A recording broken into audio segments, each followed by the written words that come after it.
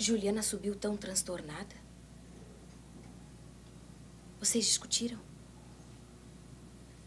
Será que é porque eu dispensei Juliana por uma semana? Não. Não foi precisamente por isso. Roberto, eu queria lhe fazer uma pergunta. E sei que somente você pode me responder. Sabe, é, é sobre esse retrato. Você com uma criança no colo.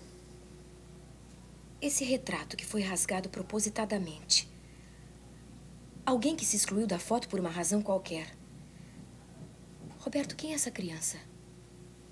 E quem estava do seu lado no retrato?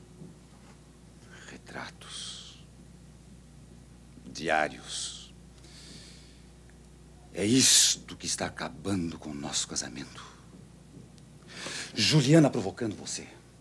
E você se deixando provocar, engolindo a isca.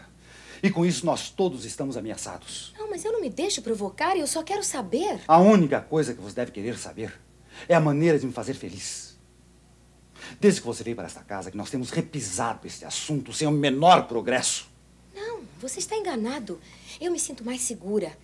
Eu sei que estou perto de saber o que eu procuro. Eu tenho sido um modelo de complacência, de tolerância. Sempre fui. Se eu, como marido, não me sentia atraído por essas coisas, por que, que você se agarra a essa ideia como se nessa, nessa ideia você fosse encontrar a sua salvação, a nossa salvação? Mas é que eu tenho certeza que nas páginas arrancadas desse diário eu vou conseguir achar o erro de Alice Stein. Mas para quê? De que nos serve a miséria de Alice? Se alguma miséria estiver, estiver confessada nesse diário. É da sua vida que você deve tratar. Preste bem atenção numa coisa, Marina. Isso que você imagina que possa ser a sua salvação, pode ser a sua ruína. A nossa ruína. Se não podemos resgatar um erro cometido, é melhor não tomar conhecimento dele. Porque nós não podemos sofrer por aquilo que não sabemos. Muitas coisas ficam assim, esquecidas no tempo. No limbo onde repousam as misérias humanas. E eu, eu não quero saber de nada. Nada, de nenhuma confissão de Alice, de nenhum erro do seu passado, de nada! Aqui você tem, aqui você tem o retrato. O retrato que resta. O que resta do diário de Alice. Do diário de Alice também, tudo em pedaços. Aqui está. Aqui está. Eu não quero saber de nada. Nada. E se você gosta tanto de quebra-cabeças?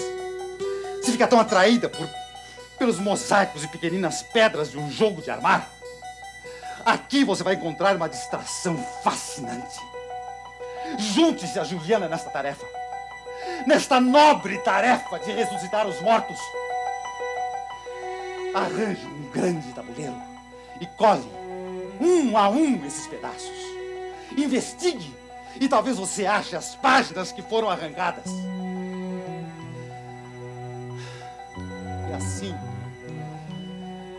assim, Marina, em muito pouco tempo, vocês serão um grande painel com a curta e verdadeira história de Alice Stein. E aí poderão finalmente descansar. Velhas inúteis para a vida deixar passar. Vamos! Comece a tarefa! Vai precisar de muito tempo e de muita paciência.